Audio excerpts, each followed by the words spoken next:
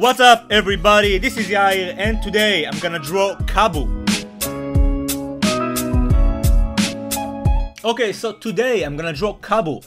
That's my original Saiyan character. Some of you might remember, but for those who don't, here's the first time I drew him as a Super Saiyan. And then I drew him in his normal form as well. If you want to read more about his background story being a cousin of Goku, you can check it out in the description box. But now, I'm gonna draw him as Super Saiyan 3, so let's get to it.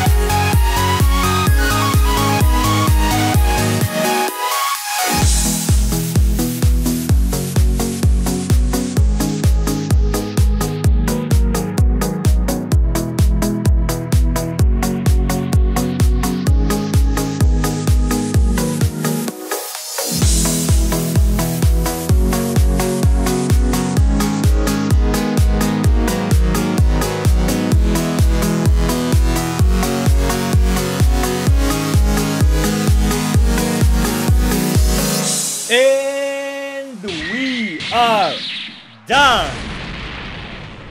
Everybody?